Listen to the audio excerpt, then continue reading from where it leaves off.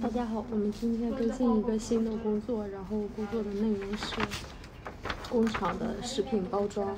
然后工作内容工作地点是茨城，工资给用的是十七万到二十万，有住住宅补贴，然后感兴趣的话可以详细来公司这边了解，然后公司这边说明会是上午的十二点，面试是下午的十五点，详细会有呃说明会。